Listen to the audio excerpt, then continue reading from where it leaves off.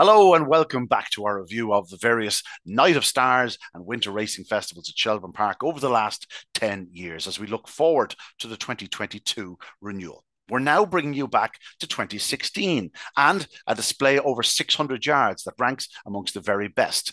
Of course, it was from College Paradise. Larry Keane was the man to suggest it, and Larry was certainly a member of the Inside the Door syndicate. Well, College Paradise on the night beat a wonderful field. In hindsight, it looks even better. Second, Ballydoyle Honey, one of the greatest bitches ever to run at Shelbourne Park. Boyle Sports Duke, an absolute powerhouse back in third. And fourth was a certain astute missile.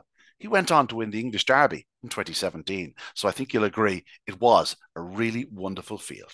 Let's watch College Paradise in all its glory.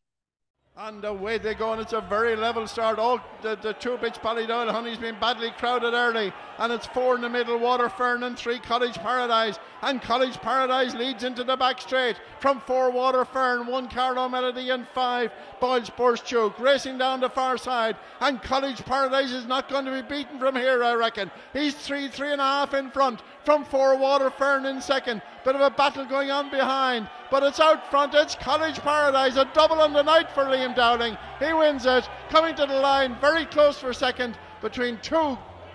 That is Ballydoyle Honey made up huge ground in a photo finish with five Boyle Sports Duke.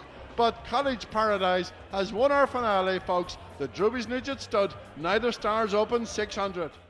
Yes, indeed, a wonderful performance there by College Paradise. And Larry uh, gets the opportunity every single day to thank his wonderful star because he's living on his couch. Happy retirement, College Paradise. Now we're going to skip forward to 2019 because Karol Ramsbottom was in touch. Karol never short of a word, but one lady that he always has lots of time for, Sliabh Liag. And she won the bitch race in 2019, away and gone from trap three.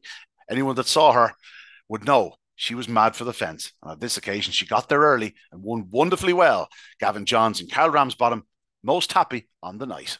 And there is the bell, the runners for this Droopy Stud Night of Stars Open pitch 525. One, Mags Angel. Two, Prices Verona. Three, Sliabh Liag. And four, the favourite, Kilmacdonough. Five, TMO. And six is Droopy's Hunch. Here up behind traps.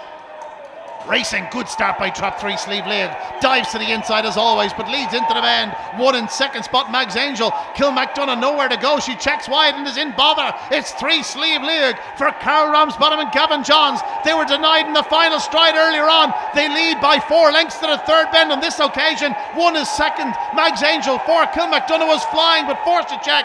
And Slieve League is on her way to a night of stars Bitch 525 title. She scores by six lengths to one Mags Angel, tied for third. But a brilliant display by Sliabh Liag in winning the Droopy Stud Night of Stars Open Pitch 525. The winning time 28 39.